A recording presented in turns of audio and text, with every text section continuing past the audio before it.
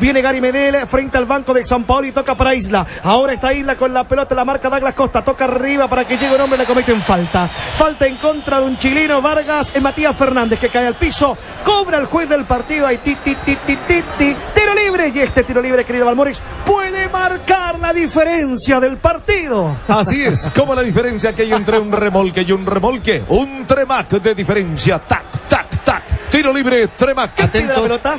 Matías Fernández, atentos a Zamarela, porque el que bajó a Fernández fue Luis Gustavo, que ya está amonestado. Pero Zambrano trajo una cartulina por cada tiempo. No, Ahí ya, está. pagó la cuota ya. pues. Solo un hombre en barrera, que es el amigo de la banda Marcelo. A Brasil no la Matías, amonestan hasta la sexta fecha. Matías Fernández, el saltito del Mati, el 14. Viene Matías Fernández, pierna derecha. El centro, primer palo. ¡Gol!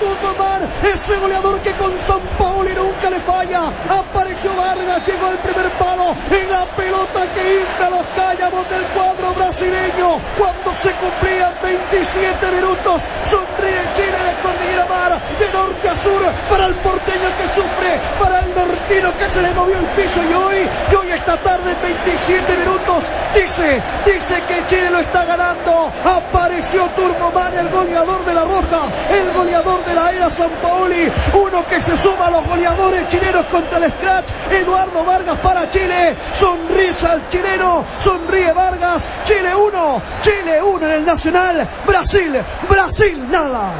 Gol de ADN Deportes 91.7. Y le costó cara la falta Luis Gustavo. Todos los balones detenidos ahora son de Matías Fernández, que la metió en el área chica, la fue a meter ahí al primer palo y la fue a buscar Eduardo Vargas.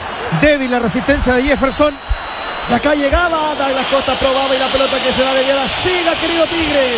Débil la resistencia del portero Jefferson porque lo sorprende también el toquecito que le va a buscar Eduardo Vargas, que también sorprende a la defensa de Brasil. Ahí la metió Matías Fernández, ya anotó el goleador de la Copa América. ¿Ya? Viene Vargas, la viene ganando el fondo. Oye, oye. Bombo, ¿cómo reparte a, to- a todo el equipo? Se ah? pasó. Se pasó. Es nuestro Gary Medel, le pega a todo. ¿ah? Y Turra no está convocado, ¿no? Hace rato. No, ya usted le dejaba tranquilo. Si yo le quisiera meter la plancha. Perdonó, perdonó, perdonó. Hasta mañana con una plancha para Diego Sáenz. Viene con la pelota Matías Fernández, se va por dentro, toca para Alexis Sánchez. Si abre, aparece Arturo Vidal. Va Sánchez, Vidal del segundo, Vidal del segundo, Vidal del segundo, Vidal del centro atrás. ¡Gol!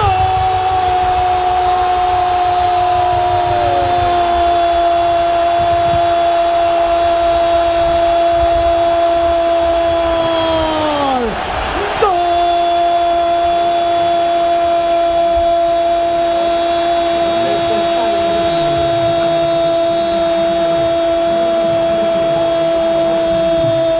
¡Gol!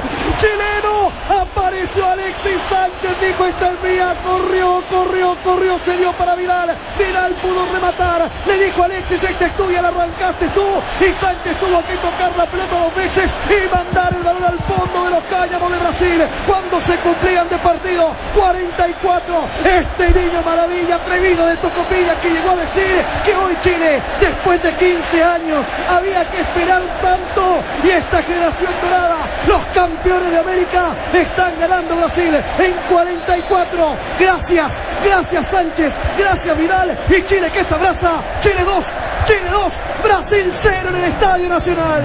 Gol de ADN Deportes 91.7. Ayer al mediodía San Paoli dijo que no sabía si jugaban Sánchez y Vidal. Recontra golazo.